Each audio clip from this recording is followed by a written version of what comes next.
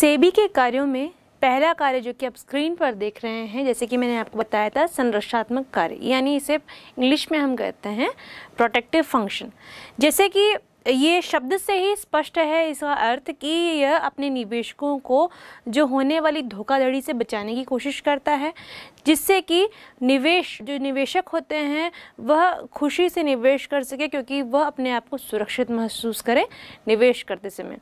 आइए कुछ पॉइंट्स के थ्रू इसको समझते हैं कि किस तरीके से सेबी जो है अपने प्रोटेक्टिव फ़ंक्शंस में क्या क्या चीज़ों को ऐड करती हैं। जैसे कि मैंने आपको बताया कि यह धोखाधड़ी से अपने निवेशकों को बचाने की कोशिश करती है और इंटरनल ट्रेडिंग को, आंतरिक ट्रेडिंग को रोकने की कोशिश करती। है आंतरिक ट्रेडिंग जैसे कि मैंने आपको पहले भी बताया था कि जो बातें गोपनीय होती हैं, या गोपनीय बातें जो बाहर नहीं आनी चाहिए, उस तरह की ट्रेडिंग को रोकने की कोशिश करती हैं। क्योंकि अगर गोपनीय बातें बाहर आती हैं तो क्या होगा? ट्रेडिंग में जो लोग हैं, इन अवसर का फ़ायदा उठा सकते हैं। क्योंकि उनको अंदर की बात पता चल गई कि मार्केट रेट अब इस शेयर का क्या होने वाला है, या इस कंपनी की आर्थिक स्थिति क्या है? तो वो इससे अंदाज़ा लगा लेते हैं कि उसके अंश अब किस रेट पे बिक सकते हैं, या उनका मूल्य क्या हो सकता है।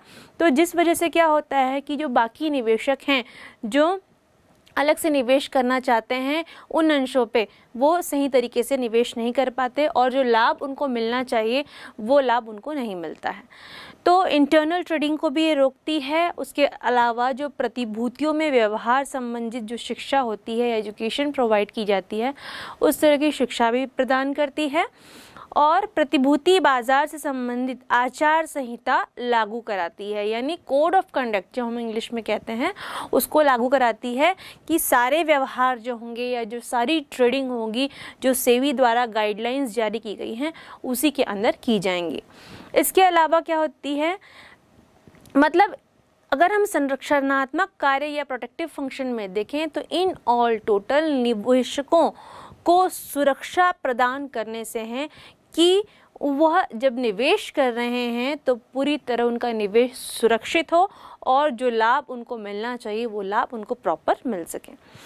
अब पहला फ़ंक्शन हमने समझ लिया, हम आते हैं दूसरे फ़ंक्शन की ओर, जो कि है संचालन संबंधी, यानी रेगुलेटरी फ़ंक्शन जैसे कि शब्द से स्पष्ट है कि यहाँ पर क्या होता है रजिस्ट्रेशन और संचालन की चीज़ें होंगी। अब रजिस्ट्रेशन किन किन का हो सकता है? रजिस्ट्रेशन दलाल उप दलाल मर्चेंटाइज बैंक इन सही चीज़ों का होता है। इसके अलावा क्रेडिट रेटिंग कंपनीज़ का, वेंचर रेडिस कंपनी का, इन सभी का क्या होगा? रजिस्ट्रेशन होगा और उनका संचालन किया जाएगा। इसके अलावा क्या होगा? जो शेयर बाज़ार में किए जाने वाले व्यापार का संचालन ये करता है और जो सामूहिक विनियोग स्कीम चलाते हैं, जैसे कि म्यूचुअल फंड्स उनका भी रजिस्ट्रेशन इसमें किया जाता है और जो शेयर बाज़ार है तथा मीडिएटर्स जो मध्यस्थ इनमें काम करते हैं, उनका ऑडिट किया जाता है। साथ ही साथ जो दो कंपनी मिलकर जब एक नई कंपनी का निर्माण करते हैं और उनके शेयर्स या जब भी मार्केट में उनकी सिक्योरिटीज़ लाते हैं क्रय विक्रय करने के लिए ट्रेडिंग करने के लिए तो उन कंपनी के जितने भी डिटेल्स हैं या डेटा है उनको प्रॉपरली चेक किया जाता है। तो इस तरीके से हम कह सकते हैं कि जो सेबी है अपने रेगुलेटरी फ़ंक्शन को इन बिंदुओं के माध्यम से पूरा करती हैं। इसके बाद हम अगले फ़ंक्शन की ओर चलते हैं, जो कि है डेवलपमेंट फ़ंक्शन डेवलपमेंट फ़ंक्शन यानी विकास संबंधी कार्य। इसमें क्या होगा? उन सभी कार्यों को सम्मिलित किया जाएगा, जिससे कि निवेशकों का विकास हो। निवे, न केवल निवेशकों का, साथ ही मध्यस्थों का भी विकास हो। मध्यस्थ में कौन कौन आ सकते हैं? जो ब्रोकर्स आते हैं, यानी दलाल दलाल, उप दलाल मर्चेंडाइज बैंक्स ये सारे लोगों का क्या करते हैं, ये लोग उनका विकास करते हैं, उनको प्रशिक्षण देते हैं और लोचशील दृष्टिकोण अपनाकर पूंजी बाज़ार का विकास करते हैं। शोध कार्य करवाते हैं। इसके अलावा स्व जो शासी संगठन होते हैं, ठीक है, उनको प्रोत्साहित करते हैं। और विदेशी संस्थागत निवेशकों का पंजीयन करते हैं। तो बच्चों इस तरीके से हमने सेबी के जितने फ़ंक्शंस हैं उनको जाना और इन फ़ंक्शंस में प्रॉपर क्या क्या कार्य सम्मिलित किए जाते हैं उनको जाना। आइए हम सेबी का एक छोटा सा ऑर्गेनाइजेशनल स्ट्रक्चर जा, जानते हैं। या सेबी के छोटे से संगठनात्मक ढांचे के बारे में छोटी सी चर्चा करते हैं कि ये होता क्या है। अगर हम सेबी को देखें तो सेबी जो है, वो पाँच फंक्शनल एरियाज़ में डिवाइड होता है और सभी के डायरेक्टर्स अलग अलग होते हैं। इनमें दो डिविजन्स होते हैं जो प्राइमरी मार्केट और सेकेंडरी मार्केट के बेसिस पे डिवाइड होते हैं, ठीक है? और जो ये समितियाँ होती हैं, जो दो समितियाँ मैंने आपको बताई प्राइमरी मार्केट और सेकेंडरी मार्केट के बेसिस पे बनती हैं, ये जो समितियाँ होती हैं, उनमें कौन कौन से लोग होते हैं? जो मार्केट के प्लेयर्स होते हैं और सेबी द्वारा जो मान्यता प्राप्त जो इन्वेस्टमेंट ऑर्गेनाइजेशन होते हैं, वो होते हैं। अब ये जो समितियाँ होती हैं, वो क्या करती हैं? वो केवल परामर्श दे सकती है सेबी को, ठीक है? कि क्या कार्य करना है, लेकिन इसके अलावा वह उस पर दबाव नहीं डाल सकती। और एक और सूचना मैं आपको देना चाहूँगी आपके जनरल नॉलेज के लिए, कि जो सेबी के चेयरमैन हैं, उनका नाम है सर अजय त्यागी। अब सेबी को हमने जान लिया और उसके ऑर्गेनाइजेशनल स्ट्रक्चर को जान लिया उनके चेयरमैन को जान लिया उसके साथ साथ उनके फ़ंक्शंस को जान लिया। आइए अब हम कुछ टर्मिनोलॉजीज़ को जानते हैं जो कि शेयर बाज़ार में यूज़ की जाती हैं। देखिए बच्चों आ, ये जो टर्मिनोलॉजीज़ हैं ये आपने एक जगह सुनी भी होंगी। अभी रिसेंटली एक मूवी आपने देखी होगी अगर जो कि है स्कैम 1992 हर्षद मेहता स्टोरी इसमें अगर आप इस मूवी को देखते हैं तो इस मूवी में, इस चैप्टर से रिलेटेड कई ऐसे टर्मिनोलॉजी या टेक्निकल वर्ड्स यूज़ किए गए हैं, जिसको आप कनेक्ट करके अपने इन टर्मिनोलॉजी को और क्लियर कर सकते हैं। हालाँकि मैं इस चैप्टर में अभी आपको ये जो टर्मिनोलॉजीज़ हैं, आपको एक एक करके समझाऊँगी। आइए अब हम इन शब्दावलियों की ओर चलते हैं या टर्मिनोलॉजीज़ की ओर चलते हैं। पहली टर्मिनोलॉजी है बुल या तेजड़िया। अब ये क्या होते हैं? ये लोग जो होते हैं, आशावादी लोग होते हैं, यानी पॉजिटिव लोग होते हैं। ये लोग हमेशा क्या सोचते हैं कि मार्केट ऊपर जाएगा। मार्केट ऊपर जाने की संभावना को हमेशा मानते हैं और मार्केट ऊपर जाएगा तो ये लाभ कमाएँगे। इस तरह का इनका विचार होता है। ठीक है, ये पॉजिटिव लोग होते हैं। अगर हम मंदड़िया यानी बियर्स की बात करें तो ये ठीक तेजड़िया के विपरीत होते हैं। ये शेयर में मंदी आने का आ, के बारे में विचार करते हैं और मंदी के द्वारा ही लाभ अर्जन करने का विचार करते हैं। अब ये बदला या कंटेंगो क्या होता है? जब तेजड़िया द्वारा भाव तेजड़िया के वो कौन होते हैं? पॉजिटिव लोग होते हैं। हमेशा क्या होता है? भाव बढ़ने को ये लोग विचार करते हैं, भाव बढ़ेगा इसके बारे में। लेकिन जब वही भाव घट जाता है तो उस समय जो ट्रांजिशन होना चाहिए, जो ट्रेडिंग होनी थी, उसकी डेट को रोकने के लिए जो ब्याज देते हैं उससे क्या कहते हैं? बदला या कंटेंगो कहते हैं। उल्टा बदला यानी बैक वेडरिंग इसके ठीक विपरीत होता है। यहाँ पे जो मंदी, जो मंदड़िया लोग होते हैं, उनके विचार जब नहीं मिलते या उन्होंने जो सोचा था या एजम्पन किया था, अगर वो ठीक से प्रॉपर नहीं हो पाता तो वो लोग स्थिति में क्या करते हैं?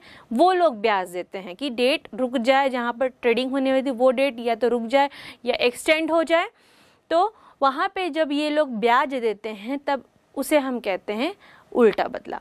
इसके बाद बात आती है मंदड़िया बाज़ार बियर मार्केट यहाँ पे क्या होते हैं? सब प्रॉपरली ये सोचते हैं कि जो चीज़ें हैं, हमेशा नेगेटिव साइड में हो मतलब मंदी का माहौल रहे।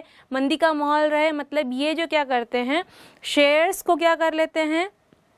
कम रेट में ख़रीद लेते हैं, ठीक है? अब इनके भाव जब बढ़ जाते हैं, बढ़ने पर क्या करते हैं? ये बेच देते हैं।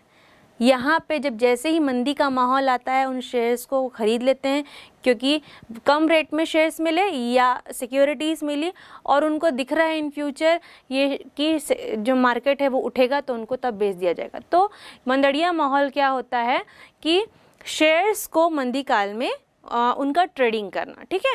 अब बात कर रहे हैं बोली मूल्य की यानी बिड प्राइस की। जब प्रतिभूतियों पर उनके मूल्य को बढ़ाकर लाभ प्राप्त करने या घटाकर लाभ प्राप्त करने की बारी आती है तो उसे बिड प्राइस कहते हैं। फिर बात आती है ब्लू चिप अंश की। जब यहाँ बड़ी कंपनियों के अंश की बात करते हैं तो उसे ब्लू चिप अंश कहते हैं। अंश, यानी बोर्सेस, स्टॉक एक्सचेंज को बोर्सेस कहते हैं। दलाल, ब्रोकर, ये लोग वो होते हैं जो कि इसका पार्ट नहीं होते हुए भी क्या करते हैं, अब जो पार्टिसिपेंट्स हैं, उनको क्या करा के देते हैं? प्रतिभूतियों में व्यवहार करवा करके देते हैं।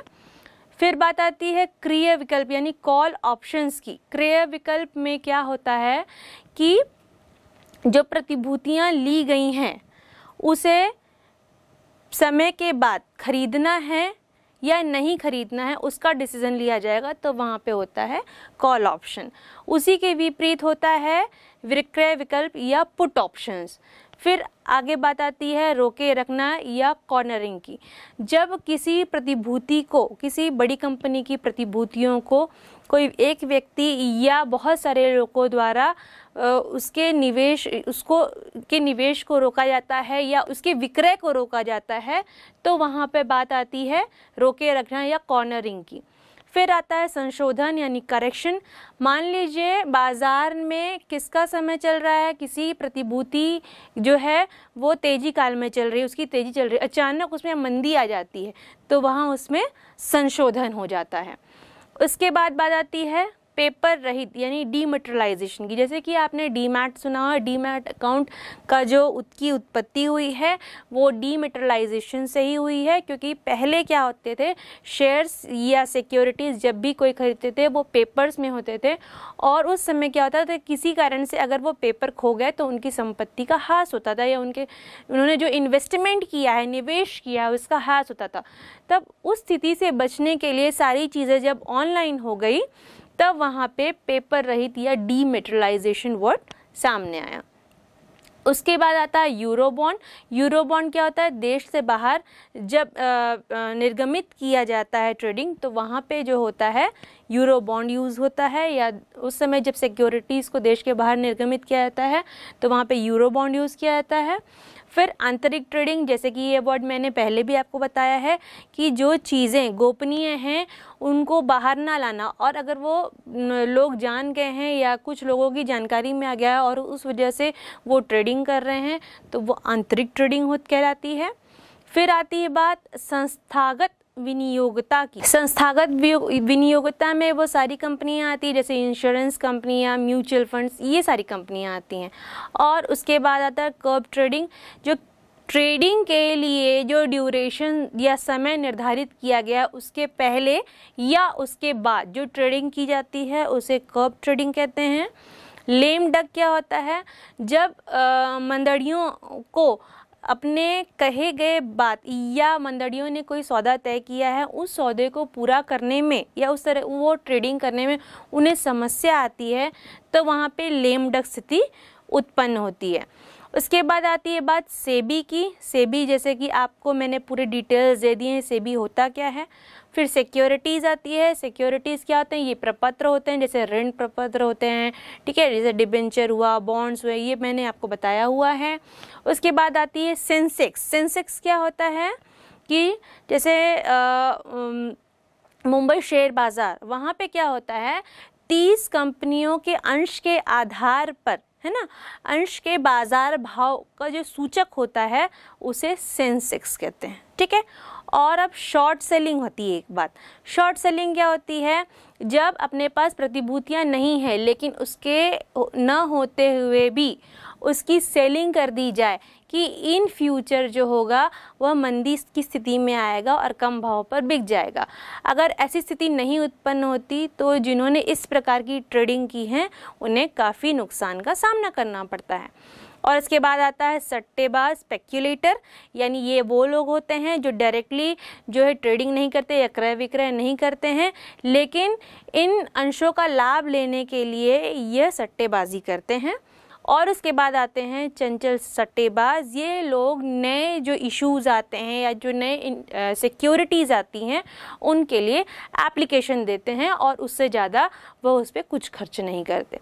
तो बच्चों, ये जो कुछ ऐसे टर्मिनोलॉजीज़ थी जो कि आपको यूज़ की जाती हैं या आप सुन सकते हैं शेयर बाज़ार में कि लोग इस तरह की टर्मिनोलॉजी का यूज़ करते हुए बातें करते हैं।